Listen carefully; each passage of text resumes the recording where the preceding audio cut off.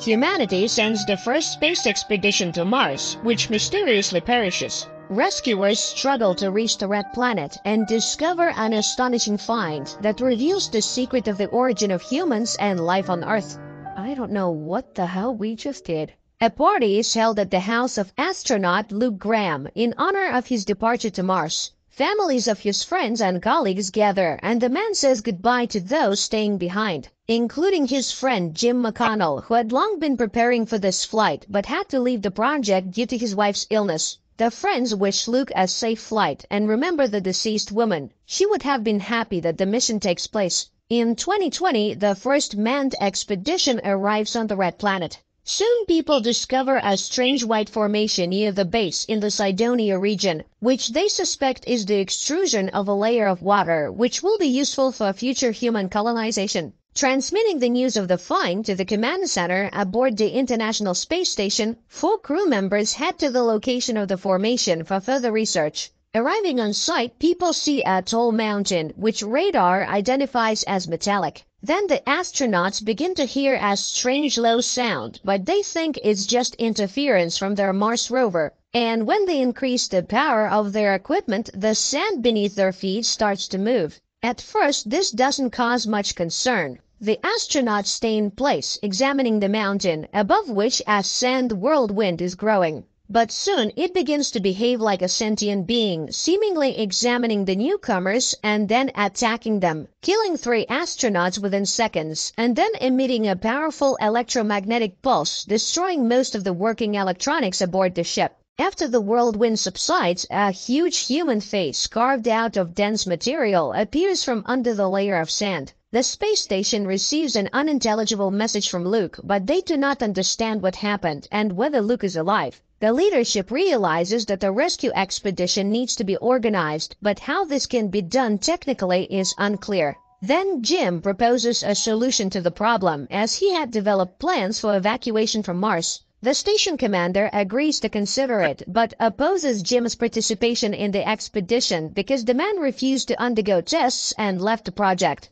Woody Blake insists on including his friend in the crew, as his refusal to go on the first flight was for a good reason. He was very worried about his wife. Moreover, it was he and his wife who studied and designed the flight to Mars. So Jim knows more about this planet than everyone else, which will undoubtedly help in the rescue mission. Hearing his arguments, the commander agrees, and the rescue ship with a team of four people heads to Mars. In addition to Woody and Jim, the crew includes specialist Terry Fisher, Woody's wife, and Phil Ohlmeyer. Along the way, Jim kindly envies the love between Woody and Terry, observing how tenderly they treat each other. Soon, the surface of Mars becomes visible from the ship, and people note that the expedition camp is intact, and even see three burial mounds next to the building. It is unclear what happened to Luke. Maybe there was simply no one to bury him. Soon, a magnetic storm covers the planet, and the astronauts can no longer see anything.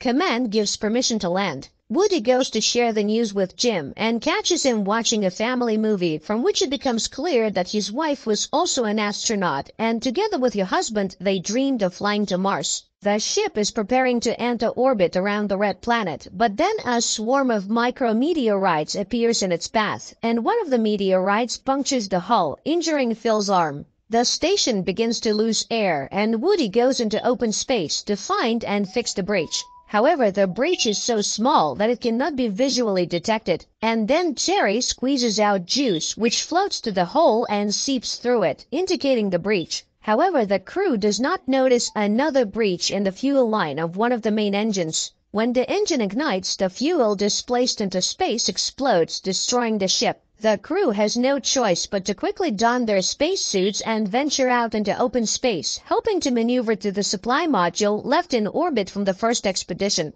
They find the module, but it is moving on a lower orbit than theirs, and too fast. Woody uses up all the fuel in his rocket pack to reach the module and secures a rope to it. However, he fails to stop his own flight and continues to fall towards Mars. Terry, wanting to save her husband, detaches her rope and goes after him. But Woody, realizing that if she continues to try to save him, she will face certain death, removes his helmet and perishes. Crying, Terry watches her husband's body fall to the planet and then returns to the others. the three astronauts land on the planet using the module. Although the module itself will not be able to take off again, the rescuers brought with them new motherboards for the first expedition ship, replacing the burnt-out ones. Upon arriving at the base of the first expedition, they explore it, but find no one, although the living quarters are completely intact. Jim goes to the greenhouse and is amazed that all the plants are doing well, everything is functioning and working. The astronaut removes his helmet, and in the reflection on the water, he sees Luke with an axe attacking him, not believing that this is a real person, not a vision. The man is seized, and only then does he begin to believe that they have come for him. The astronauts understand that Luke is not entirely mentally stable as he has spent more than a year on Mars in complete isolation from the world. After recovering from the sandstorm attack, he buried the deceased and began studying the strange structure.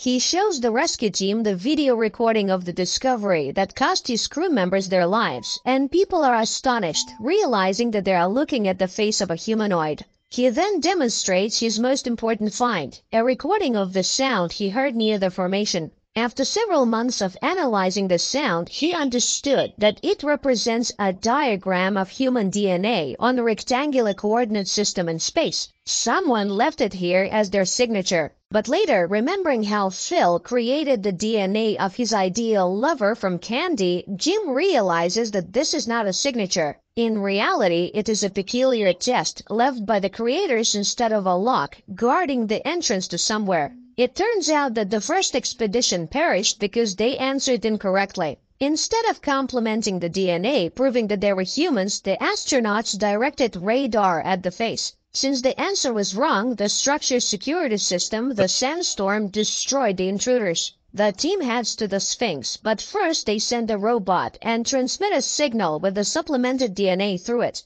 A bright light shines from an entrance that appears in the face. Everyone except Phil, who stays behind to fix the ship, goes to the face. Jim gives Phil the order to take off at a precisely determined time, even if they don't return. Then the people enter a white room, the door closes, and the astronauts lose contact with the ship. Soon the room fills with Earth's atmosphere, and the people remove their helmets. Immediately behind them, another airlock opens, and upon passing through it, the astronauts find themselves in a dark room where they see a massive three-dimensional projection of the solar system. Then a hologram of a Martian appears, silently explaining to the people that in the distant past, a massive asteroid struck Mars, destroying the planet's ecosystem, which strongly resembled the Earth's. The Martians had to evacuate their race to other star systems, but they also sent a ship from Mars to neighboring Earth containing the seeds of future life. Hundreds of millions of years later, multicellular plants and animals appeared on the planet, and no one could explain how it happened.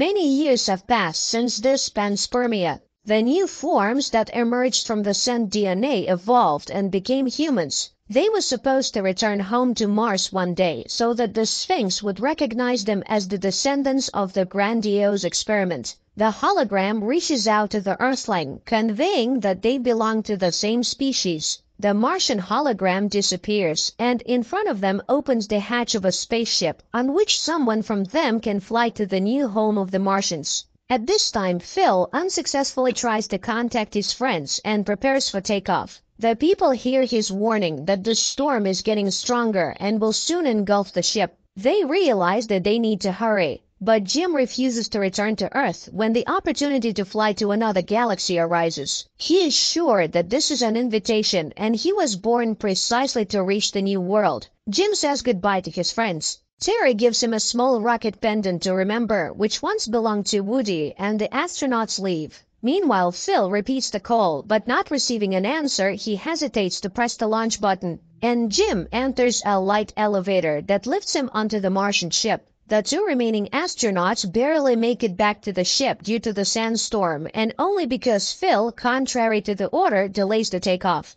Meanwhile, Jim steps onto a circle that appears before him and suddenly realizes that he can't move as water rises around him. The man braces himself for drowning and holds his breath, but then he takes a breath and starts breathing underwater. He smiles, understanding that this is a new form of life. Images of his past life flash before his eyes, and the man seems to say goodbye to everyone once again. His crew, having taken off, watches through the porthole as the Martian ship with Jim on board flies away at high speed toward a distant galaxy and wishes him a safe journey. This good, kind-hearted science fiction film that was shot many years ago does not stand out for its dynamic plot, but despite numerous scientific inaccuracies, it is interesting to watch and keeps the tension until the last seconds.